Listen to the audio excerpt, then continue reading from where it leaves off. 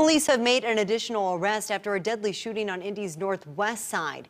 Austin Green and Sincere Dupree are accused of being involved in the shooting last March.